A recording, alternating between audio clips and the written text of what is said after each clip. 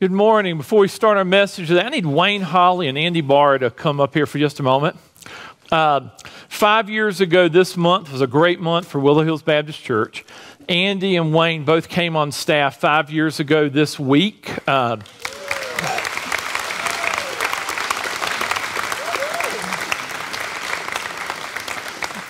Wayne has four days seniority on you, Andy, so I'm going to have him come up first.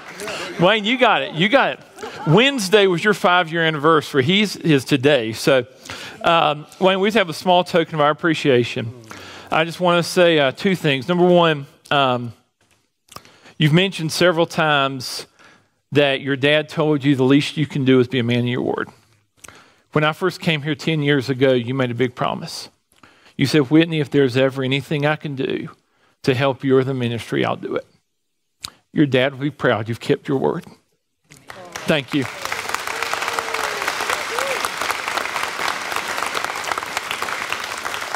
And Andy, we just want to thank you. I know five years ago you left the humidity of Florida and the hurricanes for the dry heat of Arizona and a hurricane. Uh, but we'll appreciate you. Andy, um, he's been a senior pastor, he's done a lot of different experience, and he was willing to, to step aside from that to do what he felt God was calling him to do.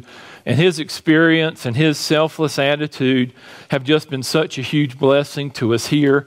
And we just want you to know we love you, we appreciate you, and we're so glad that five years ago you moved out here to join us. Thank you, sir.